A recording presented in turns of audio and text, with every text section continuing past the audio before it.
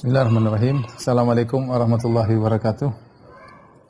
Alhamdulillahi ala ihsanihi wa syukru lahu ala taufiqihi wa amtinanihi wa asyhadu an la ilaha illallah wahdahu la syarika lahu ta'ziman li sya'ni wa asyhadu anna Muhammadan abduhu wa rasuluhu da'ila ridwani.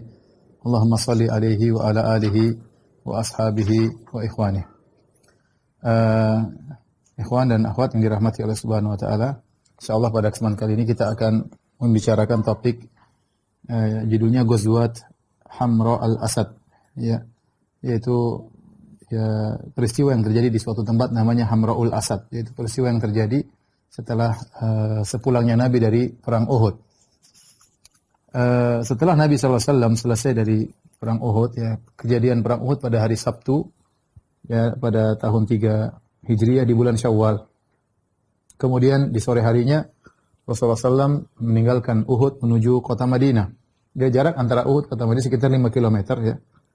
Kemudian Rasulullah SAW uh, sholat maghrib di kota Madinah dan uh, para wanita ibu-ibu pada keluar uh, menyambut pasukan yang datang maka uh, para sahabat atau pasukan bertemu dengan Hamnah bintu Jahsh Hamnah bintu Jahsh radhiyallahu anha uh, salah seorang sepupu Nabi SAW kemudian dikabarkan tentang saudaranya Abdullah bin Jahsh yang meninggal dunia ya, salah satu sahabat yang meninggal dalam perang Uhud yang di belah perutnya adalah Abdullah bin Jahsh radhiyallahu anhu yang dia berdoa agar meninggal dalam kondisi demikian.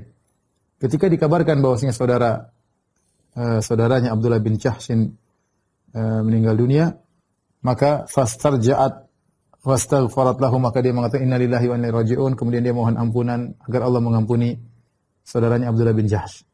Kemudian dikabarkan bahwasanya pamannya sudah meninggal yaitu Hamzah bin Abdul Muttalib ya. Hamzah bin Abdul Muttalib adalah pamannya Nabi sekaligus pamannya Hamnah bintu Jahash ya.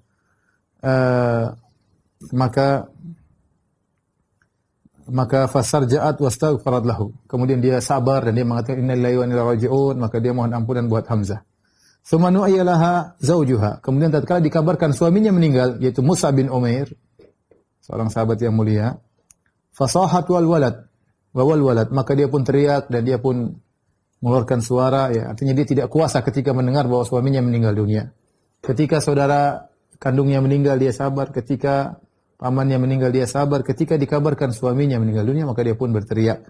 Kata Nabi SAW, Inna zawjal mar'ati minha labi makan.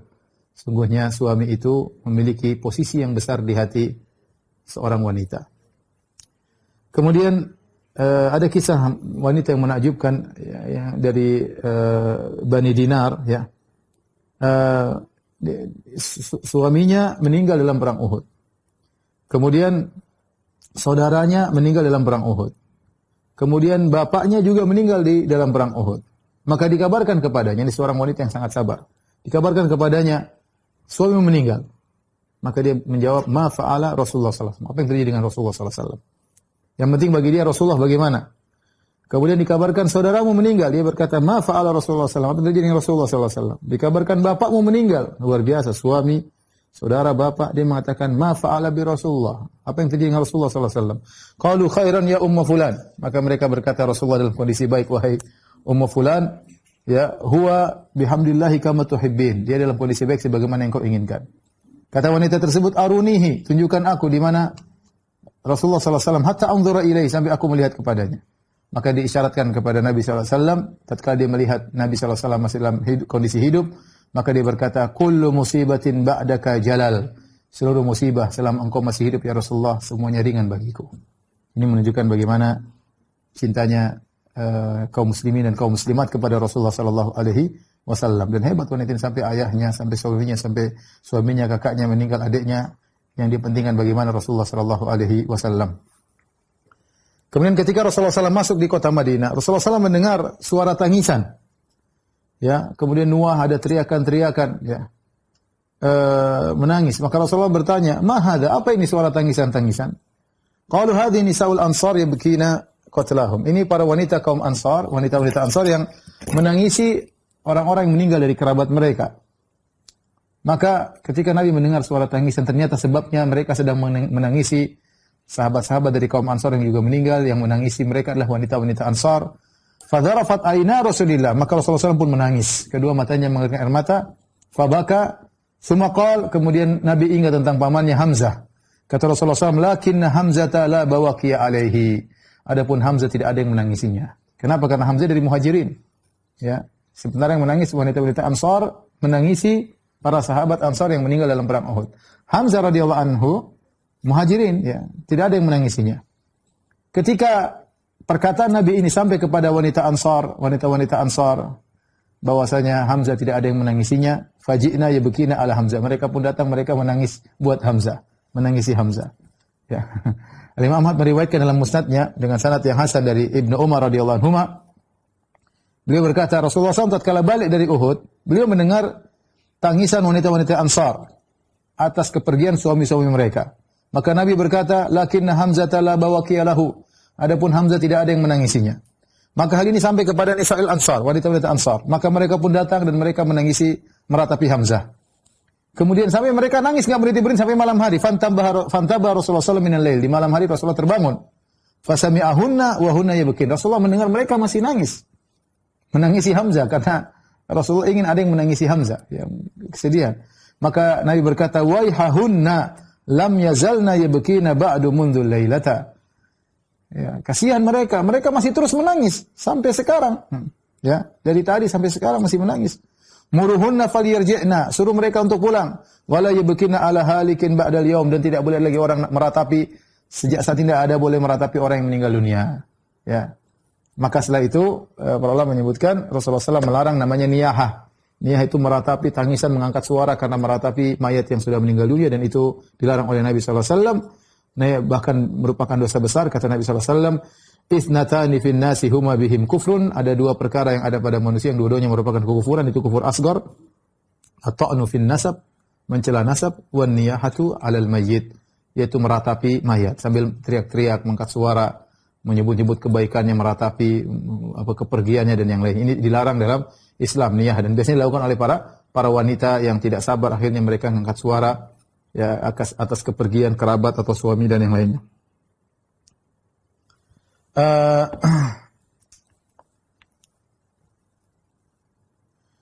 setelah itu uh, hari Sabtu malam ya. Jadi Rasulullah pulang Sabtu sore sampai di Madinah maghrib kemudian sholat kemudian malam hari maka kaum muslimin para sahabat menjaga kota Madinah ya. Mereka jaga lorong-lorong kota Madinah, tempat-tempat masuk kota Madinah ya dan mereka sudah sangat letih Ya, sangat letih. Bayangkan perang sampai sore kemudian pulang. Ya, perang bukan perang nggak berhenti berhenti nggak main-main ya. Perang ya kemudian pulang sampai malam masih berjaga di kota Madinah.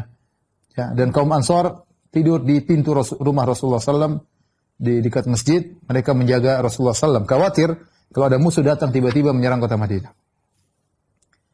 Keesokan harinya Yaumul Ahad yaitu hari Ahad ya.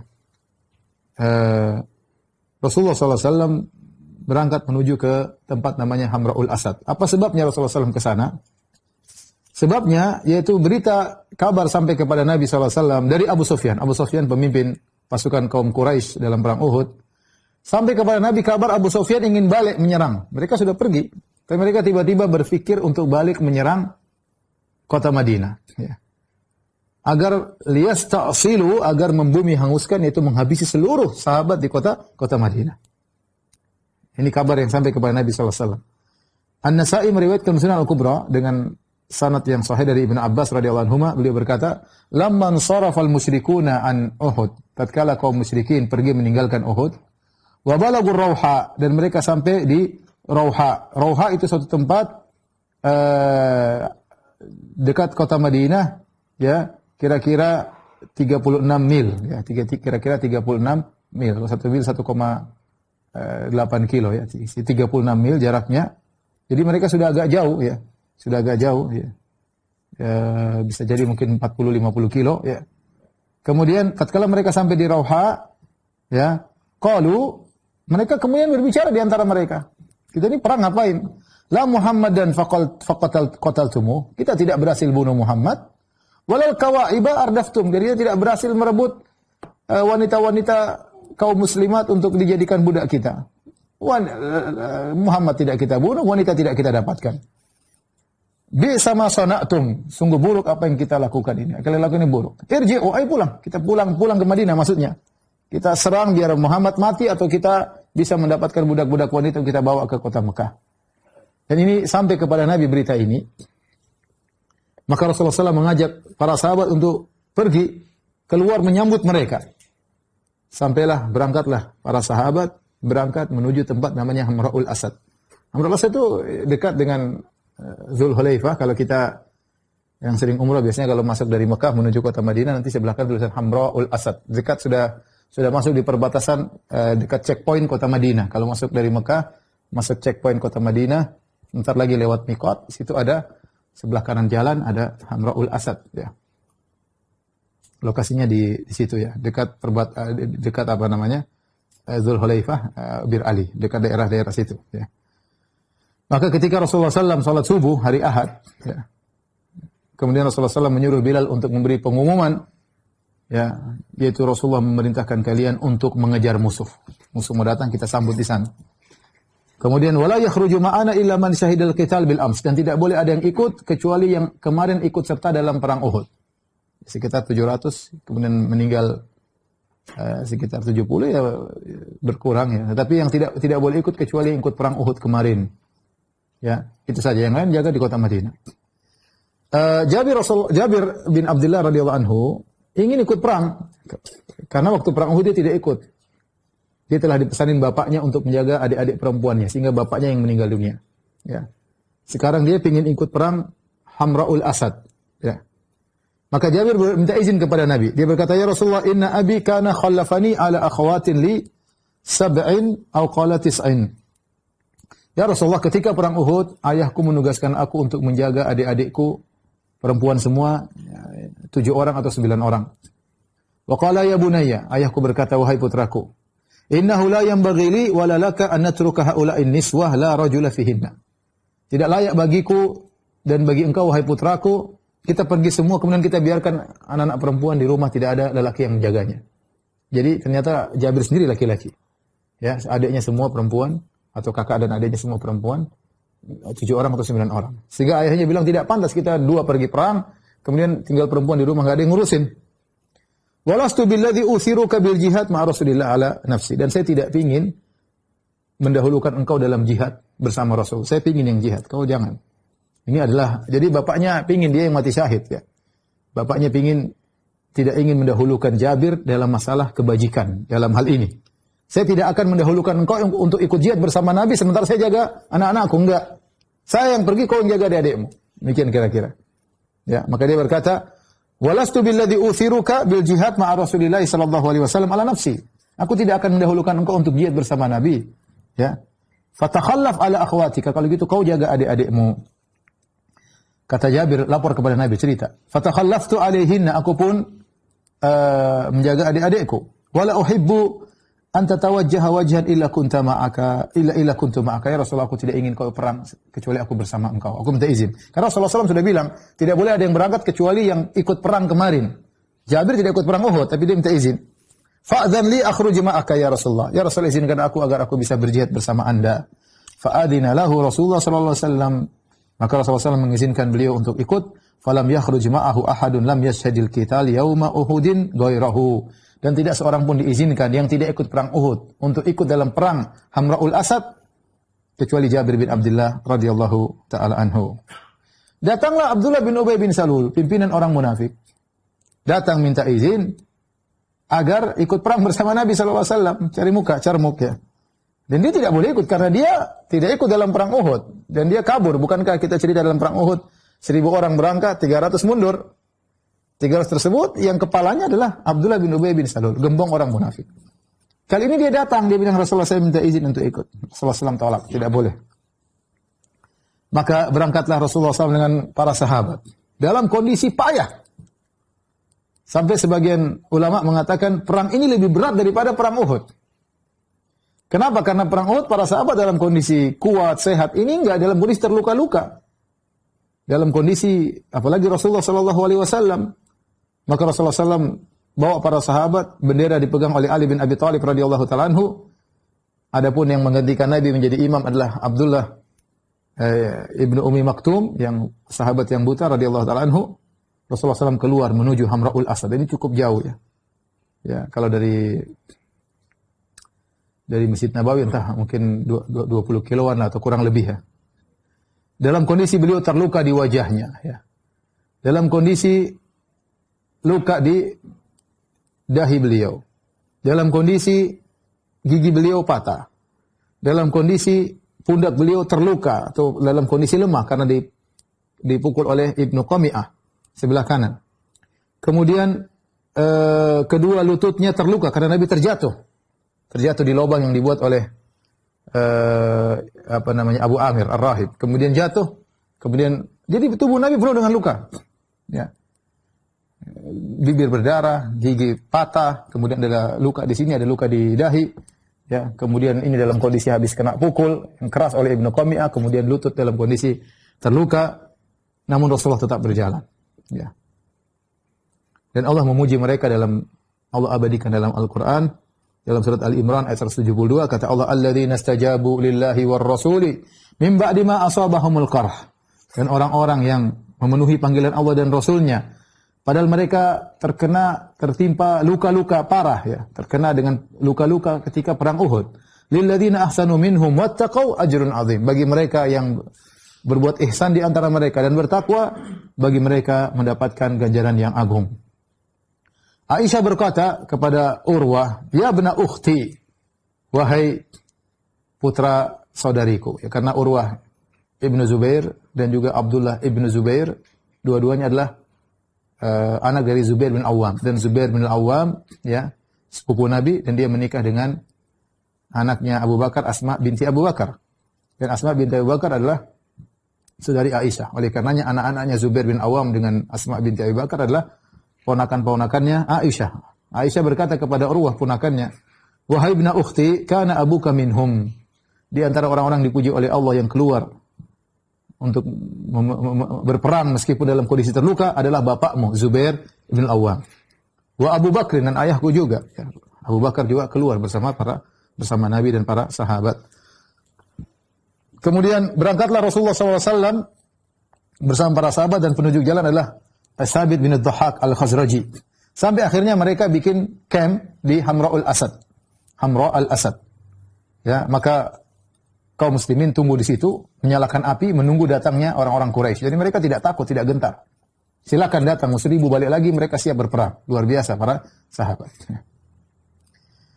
Rasulullah SAW di Hamra'ul Asad ketemu dengan seorang namanya Ma'bad bin Abi Ma'bad al-Khuzai. Ya. Uh, dan mereka adalah mereka musyrikin ketika Ma'bad masih musyrik, tapi suku Huza'ah mereka lebih condong kepada uh, kepada kaum muslimin. Uh, dan mereka tidak pernah menyembunyikan sesuatu menyembunyikan sesuatu kepada Rasulullah SAW. Ketika itu Ma'bad al-Khuzai masih musyrik. Kemudian dia berkata, "Ya Muhammad." Dia tidak bilang ya Rasulullah, masih musyrik. Dia berkata, "Ya Muhammad, ama wallahi laqad azza alaina ma asabaka fi ashabik." Sungguh berat bagi kami apa yang menimpamu dan menimpa para sahabatmu. Walau wajidna Allah afaka fihinna. Sungguh kami berharap ya, ya engkau selamat dan para sahabatmu juga selamat. Tapi apa yang terjadi? Ya, demikian yang terjadi. Hatta summa kharaja hatta laqi Abu Sufyan Ibn Harb wa man ma'ahu bir Rauha. Kemudian dia pun berjalan terus sampai dia ketemu dengan Abu Sufyan dan pasukannya di Rauha. Jadi ketemu pasukan Nabi, kemudian ketemu pasukan Abu Sufyan. Dan mereka sudah ajma'ur raja'ah dan mereka sudah sepakat untuk balik kota Madinah untuk menyerang kota Madinah, menyerang Nabi dan para sahabatnya. Tatkala Abu Sufyan melihat Ma'bad, dia bertanya, "Wahai Ma'bad, ma wara'ak? Apa yang ada di belakang? Ada kabar apa?" Kata dia, "Muhammad kharaja fi ashabihi yatlubukum." Hmm, kata dia, Muhammad sedang keluar dengan para sahabat yang ngejar kalian. Fi jam'in lam aramit lahu qat dalam sekumpulan orang yang aku tidak pernah melihat seperti mereka. Yataharraquna alaikum taharrukan. Mereka sedang terbakar ingin melawan kalian. Sedang semangat-semangatnya untuk melawan kalian. Qad ijtama'a ma'ahu man kana takhallafa anhu fi yaumikum fihi minal hanak alaikum lam aramit lahu qat. Telah berkumpul bersamanya orang-orang yang tidak ikut perang sebelumnya. Padahal tidak demikian. Tapi dia menyampaikan berita ini kepada Abu Sufyan agar takut dan mereka lagi dendam kusumat untuk uh, membunuhmu, membunuh kalian. Abu Sufyan berkata, "Wa ya kama taqul." Celaka engkau apa yang kau katakan? Ya. Inilah yang aku katakan. Fa ini anhaka an dzalik. Aku melarang kalian untuk pergi perang. Uh, melihat kabar dari Ma'bad, akhirnya Abu Sufyan takut ya. Takut akhirnya dia ya udah kita balik aja ke Mekah cari perkara Rasulullah sudah siap dengan uh, pasukannya ya akhirnya dia tidak jadi balik ke kota Madinah dan kemudian melanjutkan perjalanan menuju Mekah. Ketika Abu Sufyan sedang berjalan menuju Mekah, Abu Sufyan dan kawan-kawannya ketemu dengan sekelompok orang dari Abdul Qais. Maka Abu Sufyan bertanya, "Aina turidun?" Wahai gerombolan atau sekelompok orang dari Abdul Qais, dari apa keturunan anak-anak Abdul Qais atau kabilah Abdul Qais, ke mana hendak kalian pergi? Qalu nuridul Madinah. Mereka mengatakan rombongan Abdul Qais ini kami ingin pergi kota Madinah. Qala walima, kenapa kalian ingin ke Madinah? Qalu nuridul mirah, kami ingin mendapatkan makanan di sana, ya, kami ambil untuk kami jual, ya ambil korma atau yang lainnya. Qala Abu Sufyan menawarkan, "Fahal antum muballighuna anni Muhammadan risalatan ursilukum biha ilaihi?" Maukah kalian menyampaikan suatu surat dariku, pesan dariku untuk Muhammad? Pesan dariku untuk Muhammad? wa hamilu alakum ibilakum gadan zabiban diukat. Nanti kalau kalian menjalankan perintahku, aku akan penuhi onta-onta kalian dengan zabib, dengan zabib adalah anggur yang sudah dikeringkan, nanti diukat di pasar ukat. Itu pasar yang dekat dengan Taif atau dekat dengan Mekah. Ya. Nanti kita ketemu di sana, onta-onta kalian akan aku penuhi dengan zabib, dengan makanan. Ida wafaitumuha. Kalau kalian menjalankan pesanku tersebut. Kalau na'am. Kata mereka, iya kami akan sampaikan pesan. Fa idza wafaitumuhu fa akhbiruhu. Kalau kalian benar-benar menyampaikan pesanku, maka kabarkanlah kepada Muhammad, anna qad ajma'na sayra ilaihi. Kami akan berangkat menyerang dia. Wa ila ashabihi dan kami akan menyerang sahabat-sahabat Muhammad. Linasta'sila baqiyatahum agar kami habisi seluruh yang tersisa di kota Madinah. Abu Sufyan bohong, padahal dia pulang. Ya. Famarra rakbu bi Rasulillah sallallahu alaihi wasallam. Tidak tahu ilmu gaib. Maka ternyata kelompok dari Abdul Qais tersebut datang dan melewati Rasulullah. Rasulullah masih di Hamraul Asad. Maka mereka kabarkan tentang perkataan Abu Sufyan. Apa kata Nabi SAW? Hasbunallahu wa ni'mal wakil. Ya. Cukuplah Allah bagi kami dan dia sebaik-baik penolong. Jadi Nabi ditakut-takutin, tapi Nabi tidak takut dan Nabi tetap bertahan dan mengatakan hasbunallahu wa ni'mal wakil. Mau seribu orang datang, Rasulullah SAW tetap nunggu di Hamraul Asad. Uh, peristiwa ini diabadikan dalam Al-Quran dalam surat Al-Imran ayat 172 sampai 174. Saya bacakan ayatnya. Kata Allah, "Alladzina stajabu lillahi war rasuli min ba'di ma asabahumul qarh." Dan orang-orang yang mereka memenuhi panggilan Allah dan Rasulnya setelah padahal mereka baru ditimpa dengan penderitaan, tertimpa dengan luka dalam perang Uhud. Lilladzina ahsanu minhum wattaqu ajrun azim. Bagi orang-orang berbuat ihsan di antara mereka dan bertakwa, mereka akan mendapatkan ganjaran yang besar. Alladzina qala lahumun nasu innan nasa qad jama'u lakum fakhshawhum fazadahum imana wa qalu hasbunallahu wa ni'mal wakil. Orang-orang yang ditakut-takuti dengan perkataan bahwasanya mereka orang-orang Quraisy telah berkumpul bersatu padu untuk menyerang balik kalian. Maka takutlah kepada orang-orang Quraisy akan balik menyerang kalian. Apa kata Allah? Fazadahum imana. Mereka ditakut-takuti namun mereka tidak takut. Bahkan fazadahum imanan. Iman mereka semakin kuat ketika ditakut-takuti. Wa qalu hasbunallahu wa ni'mal wakil. Dan mereka berkata, cukuplah Allah penolong bagi kami dan dia sebaik-baik penolong. Kata Allah, qalabu bi ni'matin minallahi wa fadl. Maka mereka ternyata setelah tiga hari tunggu di sana, enggak ada perang, hanya omong kosong Abu Sufyan. Mereka siap menunggu tiga hari dan mereka tidak tahu hal goib. Ternyata Abu Sufyan sudah pulang. Mereka tunggu tiga hari, ya. Ternyata tidak ada apa-apa. Mereka balik dengan kenikmatan dan karunia dari Allah. Lam yamsashum su' dan tidak ditimpa dengan keburukan sedikit pun wattaba'u ridwanallah dan mereka mengikuti keridhaan Allah wallahu dzu fadlin azim dan Allah pemilik karunia yang besar. Ucapan hasbunallah wa ni'mal wakil ini adalah ucapan yang agung yang diucapkan oleh seorang dalam kondisi terdesak. Tidak tahu siapa yang bisa menolongnya kecuali Allah Subhanahu wa taala. Ini ucapan yang diucapkan oleh Nabi dan diucapkan oleh Ibrahim ketika dilemparkan di api. Ya, kata Ibnu Abbas dalam Sahih Al-Bukhari, Kata Ibnu Abbas, hasbunallah wa ni'mal wakil. Perkataan hasbunallah wa ni'mal wakil. Qalaha Ibrahim alaihissalam hina ulqiya finnar. Diucapkan oleh Ibrahim ketika dilemparkan dalam api.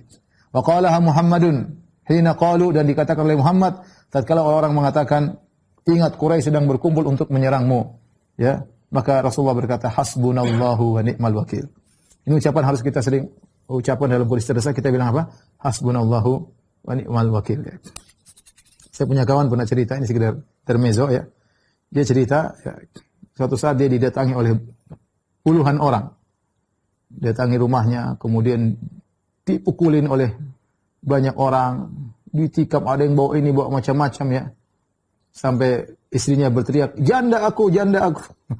Sudah yakin meninggal dunia ya. ya. Dia cuma mengatakan hasbunallah wa ni'mal wakil. Hasbunallah wa ni'mal wakil. Sebelum sampai akhirnya datang polisi, ya diselamatkan, ya. E, ternyata dia selamat dan tidak terluka dan tidak meninggal dunia. Ya, sampai polisi tersebut itu non muslim bertanya kepada dia, Pak, apa rahasianya kok bisa nggak luka? Ya, dipukulin banyak orang nggak luka. Maka dia bilang, kebetulan orang tersebut orang musyrik. Maka dia jawab, ya karena Allah Maha Esa. Ah, bapak ini ngejek aja. Ya. Tapi intinya, intinya benar dia mengatakan hasbunallah wa ni'mal wakil. Ya, kalau orang mengucapkan dengan yakin, lihatlah Ibrahim alaihissalam dilemparkan di api dan tidak terbakar. Ya, dengan yakin kalau Allah menolong semuanya mudah. Ya. Tapi di sana Rasulullah SAW di Hamra'il Asad kemudian bertahan selama tiga hari untuk memastikan musuh datang atau tidak. Ternyata musuh tidak datang. Maka pada hari Rabu, ya dari hari Ahad sampai hari Rabu tidak ada. Maka Rasulullah SAW pun balik ke kota Madinah dan uh, menunjukkan beraninya kaum muslimin dan mereka tidak gentar dengan ancaman-ancaman tersebut karena mereka memang mencari mati syahid. Baik, uh, sebelum Rasulullah balik ke kota Madinah, ya Rasulullah Alaihi Wasallam uh, mendatangkan uh, Abu Azzah al-Jumahi. Abu Azzah ini sudah kita sebutkan ketika dia dalam perang Badar, dia ditangkap termasuk tawanan. Kemudian dia berkata, ya Rasulullah, saya punya anak-anak perempuan masih kecil-kecil ya Rasulullah. Lepaskanlah aku, aku tidak akan mengganggumu lagi ya. Dan dia adalah seorang penyair yang pandai bersyair ya. Dan bahaya kalau orang pandai bersyair, provokator unggul di zaman uh, dahulu karena di antara sarana medsos ketika itu adalah apa? Adalah syair ya. Ya. Sampai ketika itu Rasulullah SAW maafkan dia di perang Badar. Ternyata dalam perang Uhud dia melanggar janji. Ya, dia sudah berjanji tidak akan membantu kaum musyrikin menyerang Nabi. Ternyata dia melanggar. Dalam perang Uhud dia bersyair-syair lagi untuk memprovokasi orang-orang untuk menyerang Rasulullah SAW. Ternyata dia tertangkap lagi dalam perang Uhud. Ya. Padahal dia sudah janji sebelumnya. Kemudian tatkala ditangkap dibawa kepada Nabi SAW, maka dia berkata lagi, Ya Muhammad akhilni, ya, ya, ya Muhammad, bebaskanlah aku. Wamnun alayya, bebaskanlah aku. Fa inna li banatin, saya masih punya anak-anak perempuan, wahai Muhammad. Wa u'tika ahdan an la a'uda limithli ma fa'altu. Aku berjanji aku tidak akan melakukan ini kedua kali, ketiga kali lagi, tidak akan. Tidak akan mengulangi perbuatanku lagi. Tapi Rasulullah SAW tidak maafkan. Kata Rasulullah SAW, Wallahi la tasmahu aridaika bi Makkah ba'daha wa taqul khada'tu Muhammadan marratain. Saya tidak mau lihat kau nanti balik ke Mekah, terus kau pegang dagumu, kau bilang saya sudah tipu Muhammad dua kali. Enggak, enggak akan terjadi. Ya, dalam riwayat Nabi mengatakan saya tidak mau kau balik ke Mekah kau pegang dua uh, tulang dagumu dan kau berkata sakhirtu bi Muhammadin marratain. Aku mengejek Muhammad dua kali. Kata Nabi, idrib unuqahu wahai Zubair bin Awam, penggal lehernya. Rasulullah SAW berkata, La yuldagul mu'minu min juhrin marratain. Seorang mukmin tidak akan terkena sengatan hewan dari satu lubang yang sama dalam dua kali. Akhirnya dibunuhlah Abu Azzah al-Jumahi. Tapi inilah peristiwa uh, perang Hamra'ul Asad ya. Yang ini juga menunjukkan kepahlawanan para sahabat dalam kondisi terluka, dalam kondisi sakit, mereka tetap semangat untuk berperang dan mereka tidak peduli musuh masih masih banyak. Uh, di penghujung kajian kita kali ini ya, uh, kita akan sebutkan beberapa faedah-faedah tentang perang Uhud yang dibawakan oleh Al-Imam Ibnu Qayyim rahimahullahu taala dalam kitabnya Zadul Ma'ad. Ya, ada beberapa uh, faedah-faedah ya. Ya, di antaranya ya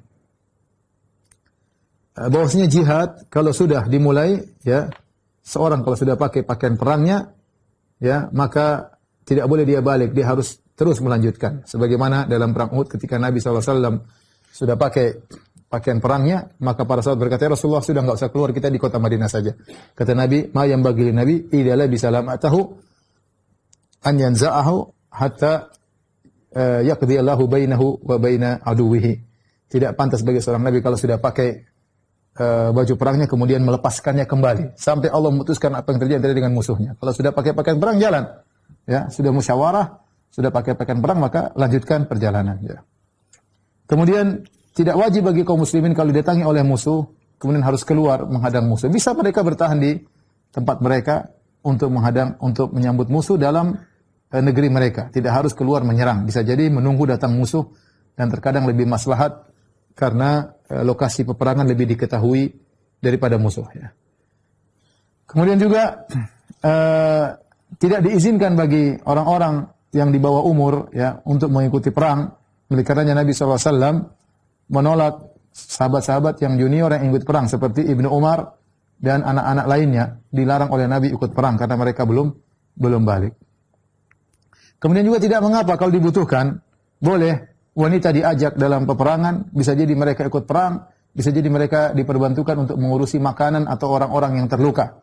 Sebagaimana sudah kita sebutkan di mana Fatimah ikut, kemudian Aisyah radhiyallahu anha juga ikut ya.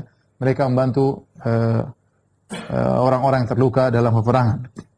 Kemudian di antaranya dibolehkan al-indimas fil adu. Apa itu al-indimas? Yaitu masuk dalam tengah-tengah tengah-tengah lautan musuh dan kemungkinan besar akan meninggal dunia. Tidak mengapa dalam peperangan. Sebagaimana dilakukan oleh Anas bin Nadhr. Anas bin Nadhr dia nekat untuk mati dan dia tahu dia bakalan meninggal, tapi dia nekat masuk di tengah-tengah pertempuran, kemudian dia berperang sampai dia meninggal. Ya, tapi bukan bunuh diri, bukan. Ya, dia masuk dan dia melawan sampai akhirnya uh, terbunuh. Ini dibolehkan meskipun kemungkinan besar meninggal dunia karena dia ingin mati mati syahid, tapi bukan bunuh diri. Kalau bunuh diri dosa besar. Ya. Uh, dan di antaranya bolehnya kata Ibnu Qayyim jawazu du'a'i rajuli an yuqtala fi sabilillah. Boleh seorang berdoa untuk meninggal dalam medan pertempuran. Wa tamannihi bidzalik dan dia boleh berangan-angan untuk meninggal dalam medan pertempuran. Sebagaimana siapa Abdullah bin Jahshin. Dia berdoa ya Allah, kalau aku bertemu dengan musuh besok, temukan aku dengan musuh yang paling bengis, yang paling keras uh, hantamannya. Biarkanlah dia merobek perutku dan dia apa namanya merusak tubuhku. Sampai kalau aku bertemu dengan engkau pada hari kiamat kelak, engkau akan bertanya kepadaku, ya Allah, apa ini wahai Abdullah bin Jahshin? Aku akan berkata, qatal tufika, aku mati karena engkau ya Allah. Dan dikabulkan. Dan di, dikabulkan, ya. Uh, Rasulullah berkata, la tatamannau liqa'al adu. Jangan kalian berangan-angan bertemu dengan musuh. Kita enggak ingin kapan sih perang lagi? Enggak. Tapi kata para ulama, kalau sudah di medan pertempuran, di depan mata pertempuran, maka boleh berangan-angan untuk meninggal dunia, mati syahid. Boleh. Boleh. Tapi kalau sebelumnya ya jangan kapan mau perang, kapan kata Rasulullah, la tatamannau liqa'al adu. Jangan berharap bertemu dengan musuh. Fa idza laqitumuhum fasbutu. Kalau kalian bertemu dengan musuh maka tegarlah. Tegarlah. Uh, sebagaimana disebutkan sebagian sahabat ya, kita tidak ingin meninggal karena penyakit taun atau penyakit tertentu ya, uh, penyakit menular yang ganas ya. Tapi para sahabat sebagian mereka tatkala sudah di tengah-tengah penyakit, maka kemudian dia berharap meninggal dengan penyakit tersebut, penyakit taun agar mati syahid. Ini diriwayatkan dari sebagian sahabat. Ini sama seperti perang. Kalau sudah depan mata boleh meninggal berniat untuk meninggal mati syahid agar mendapatkan pahala syahadah. Karena kita tahu bahwasanya kedudukan orang mati syahid tinggi di sisi Allah Subhanahu wa taala. Ya. Uh, kemudian di antara faedah seorang muslim jika dia bunuh diri, ya, meskipun baru ikut perang, ya, seperti Kozman, Kozman, Kozman tadi kita sebutkan Kozman dia bunuh orang-orang musyrik banyak ketika dia terluka dan dia tidak kuat dengan rasa sakitnya, maka dia berdirikan pedangnya kemudian dia tusukkan dadanya sehingga meninggal dunia. Rasulullah mengatakan huwa finnar, dia di neraka jahanam. Kenapa? Dia mati bunuh diri uh, pahala dia yang membunuh orang-orang musyrikin tidak ada uh, tidak berpengaruh tetap aja dia masuk dalam neraka jahanam. Kemudian di antara faedah bahwasanya orang yang meninggal mati syahid dalam medan pertempuran tidak dimandikan dan juga tidak disolatkan. Ada khilaf, ada yang mengatakan disolatkan, ada yang tidak disolatkan. Tapi yang jelas tidak dimandikan. Kemudian dikuburkan dengan baju-bajunya yang penuh dengan darah. Dikuburkan dengan baju yang penuh dengan darah agar dia dibangkitkan pada hari kiamat dengan darah-darah tersebut. Kemudian di antara faedah orang meninggal mati syahid dikuburkan di tempat mereka ikut peperangan. Ya, oleh karena sebagian sahabat dalam perang Uhud ketika dibawa pulang Rasulullah suruh balik, suruh balik untuk dikuburkan di uh, lokasi perang Uhud uh, tersebut. Kemudian juga dibolehkan uh, dikuburkannya dalam satu liang lahat dua orang atau tiga orang dalam kondisi darurat sebagaimana para sahabat yang meninggal dalam perang Uhud mereka dikuburkan dua tiga orang dalam satu lubang. Ya. Kemudian orang yang penyakit atau cacat ya eh, boleh tidak ikut perang seperti Amr bin Jamuh ya. Amr bin Jamuh dalam kondisi uh, pincang, dia tidak dia dia diizinkan oleh Nabi tidak ikut perang. Tetapi akhirnya dia minta ingin ikut perang. Rasulullah izinkan dan dia cari mati. Dia bilang, ya Rasulullah kalau saya mati hari ini, apa kaki pincangku akan menginjak surga? Kata Nabi, iya. Kalau kau meninggal hari ini, kaki pincangmu injak surga tapi dalam kondisi sehat, normal. Akhirnya dia masuk dan meninggal dunia. Ya.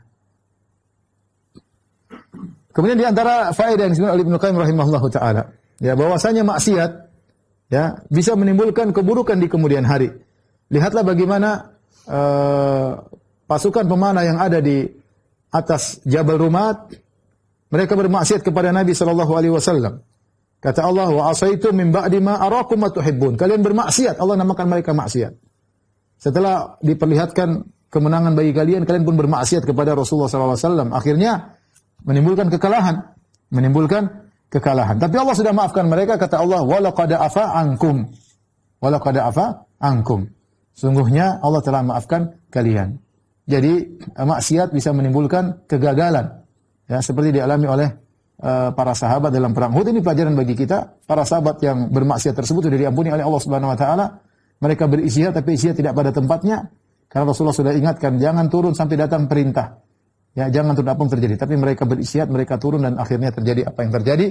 Dan uh, mereka salah dan mengakibatkan kekalahan. Tapi Rasulullah SAW tetap doakan mereka dan Allah telah mengampuni mengampuni mereka. Kemudian di antara hikmah bahwasanya ya dalam perang Uhud kaum muslimin kalah ya. Ya, makanya Abu Sufyan ketika mengejek kaum muslimin dia mengatakan wal harbu sijal. Peperangan demikian kadang kalah kadang menang. Kadang kalah, kadang menang. Dan itulah sunnatullah yang berlaku. Kalau setiap pasukan Islam selalu menang, tidak pernah kalah, maka semua orang akan masuk Islam. Tetapi peperangan kadang menang, kadang kalah. Kan dunia adalah medan ujian. Kalau setiap orang muslim selalu menang, selalu unggul dalam segala hal, semua orang masuk Islam. Dan akhirnya hilang nilai ujian dalam di dunia ini. Padahal Allah menjadikan ujian, terkadang menang, terkadang kalah. Kondisi kaum muslimin terkadang unggul, terkadang di bawah. Demikian. Ya, tetapi hidup adalah ujian. Tetapi ke, ke, kemenangan ujungnya bagi Nabi Shallallahu Alaihi Wasallam. Kemudian di antaranya dengan terjadinya peristiwa perang Uhud yang di situ banyak sahabat yang meninggal dunia, maka nampaklah antara iman yang benar dan iman yang munafik. Gara-gara perang Uhud mundur 300 orang, ketahuanlah mereka orang munafik yang dipimpin oleh uh, Abdullah bin Ubay bin Salul. Kalau tidak terjadi perang Uhud, tidak ketahuan dengan jelas siapa orang-orang munafik tersebut. Ya. Di antaranya kata Ibnu Qayyim rahimahullah taala, "Annahu subhanahu wa ta'ala hayya ali ibadihi mu'minin manazila fi dar karamatihi." Sungguhnya Allah siapkan bagi orang-orang beriman tempat-tempat tinggi di surga.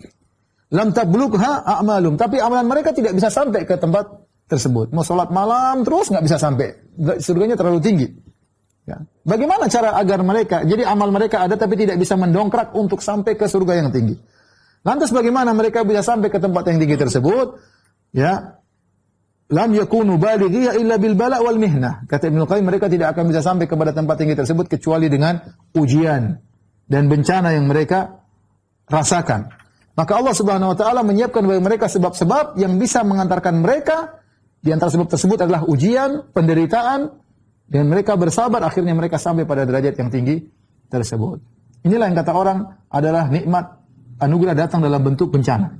Bencana zahirnya tapi padahal itulah kenikmatan. Di antaranya mengulangi dosa-dosa, di antaranya meninggikan seorang di derajat yang seharusnya tidak bisa dia sampai. Kecuali dengan bencana-bencana tersebut. Di antara faedah dari perang Uhud, ada kekalahan dalam perang Uhud. Kata Ibnu Qayyim rahimahullah ta'ala, Anna nufusa taktasibu min al-afiyati da'imati wa nasr wal ghina tughyanan wa rukunan ila al-ajilah. Jiwa ini kalau menang terus, menang terus, selalu menang, selalu unggul, akhirnya bisa menimbulkan sikap berlebih-lebihan, keangkuhan dan rukunan ilal aji dan akhirnya kecondongan kepada dunia. Kecondongan kepada dunia tanpa dia sadari. Nikmat-nikmat terus, nikmat terus, nikmat terus dan ini penyakit. Maka Allah ingin hilang penyakit ini menghalangi orang untuk masuk surga.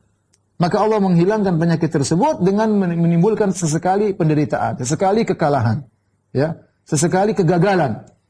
Ini kita alami di dunia ini. Terkadang kalau kita selalu unggul, selalu unggul jadi sombong dan angkuh, lupa diri, merendahkan yang lain, merasa kita lebih tinggi. Merasa akhirnya apa? Pede dengan diri sendiri. Lupa ini semua nikmat dari Allah. Tetapi sekali Allah kasih kegagalan. Sesekali Allah kasih kerugian. Sehingga hati selalu terikat kepada Allah. Ya, minta lagi kepada Allah, minta lagi kepada Allah. Dan hati tidak condong kepada dunia. Wah ini cuma sementara. Dunia datang dan pergi, harta datang dan dan pergi. Ini di antara faedah yang luar biasa dari Ibnu Qayyim ta'ala.